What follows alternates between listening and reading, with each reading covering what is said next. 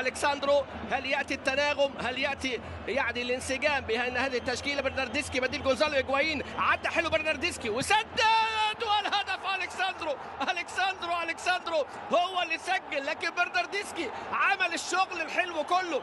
اللاعب برناردسكي الموهبة الإيطالية القادم من جانب طبعا نادي فيرونتينا وادي أمامنا أنسالدي هنا مطالبة بخطأ في اللقطة الماضية. اللعب يستمر وأنسالدي يحتاج تصل كورة إلى اللاعب المهاري اللي راوغ مولينارو أمامنا هنا. يا ولد على المراوغة خلصت الأمور والكساندرو الكره السهله لكن تمركز رائع الكساندرو الكساندرو كان يعني قللت من شأنه هجوميا ولكن هنا التمركز بقى. لكن اللي عمل الشغل كله اللي عمل المهارة كلها أمامنا هو البديل اللي دخل اللاعب برناردسكي اللي صنع هذا الهدف الجميل الحقيقة وألكساندرو يسجل في الدقيقة 34 الهدف الأول.